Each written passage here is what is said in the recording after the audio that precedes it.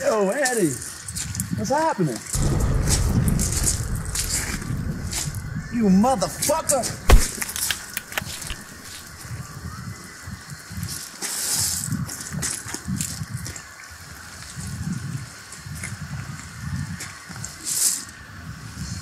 You too, Nick. I'm surprised you're walking again. You know.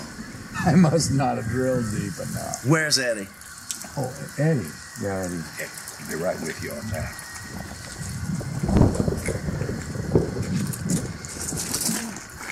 When you guys gonna learn that I don't need no sticky fingers in my pockets or anybody encroaching on my territory? Is he? No, no, no. Not my style to kill somebody on a first offense. You consider this your final word.